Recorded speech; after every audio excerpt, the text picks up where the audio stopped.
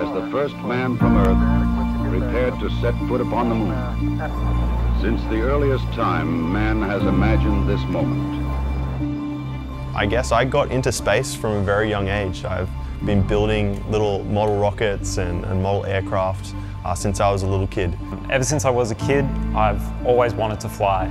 I think the first memory that I have of anything aerospace related was probably waking up really early on Sunday mornings at about 5 a.m. Uh, and watching the Thunderbirds. So I was always really inspired when I would look up to the moon and thought, wouldn't it be awesome to be able to see people up there one day? Fast forward a few years, I'd left home, I'd come up to Brisbane, uh, I got my pilot's license flying aeroplanes. I really wanted to just have a go at flying myself. So I spent four years flying single engine aircraft, twin engine aircraft. The, the most awesome part was just taking off for that first time and, and really seeing uh, how light in the air you can be when uh, you're in an aircraft. That moment really sparked just the rest of my journey uh, into aerospace and into aviation in those fields. So while I was in class one day, I saw this guy with a SpaceX t-shirt sitting a couple of rows in front of me. So I had to go introduce myself. Uh, that's how I met Michael. And then a few days later, one of my good friends introduced me to Andrew. Uh, we all got together at one of the cafes at university. Yeah, I think it was in uh, second year. Um, I had just finished uh, the second semester, uh, the first semester of uni, and I was really starting to feel like I wanted to do more. I wanted to do something hands-on, practical. Eventually, we decided to build a rocket engine. And that was really the start of Valiant Space. It was at that point that me and Andrew decided to, um, to follow our passion and to sink our own time and our own money and to start from scratch and to, and to, to forge our own path essentially. Um, and that, that's really where the essence of Valiant was born.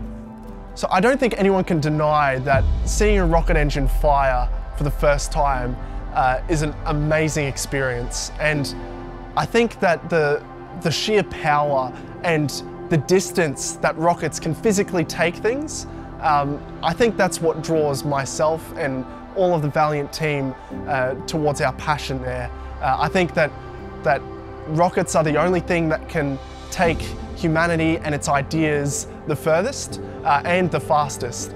And uh, I think that's just such an inspiring way of looking at how rocket engines and space technology can really advance us as a species uh, and really uh, just enjoy that, that sheer power that comes with it. One of the most important things for Valiant to me is just the ability to be able to contribute to the wider space industry, um, particularly from an Australian perspective. Um, and for someone like me to be able to do that in any way, shape or form, that's, that's incredibly humbling and it's a huge honour. Um, and to, yeah, that, that's, I, I don't take that lightly and I don't take that for granted. So to be a part of that as a part of Valiant Space, that is incredibly important to me. Um, to speak nothing of the bigger goals of um, enabling wider exploration into space and um, yeah, humanity's expansion into the solar system. So Valiant for me is not just about rocket technology, it's about working with like-minded people who are really, really passionate about space, um, building technology that you know people might think is impossible to do, but just through sheer willpower, just pulling it off. So at Valiant, we've, we've got a really long road ahead of us. Um, we're taking things step by step because we know that each step is going to bring us closer to our bigger dreams of landing things on the moon, of going to Mars, and of really enabling space exploration to become a lot more available to the masses.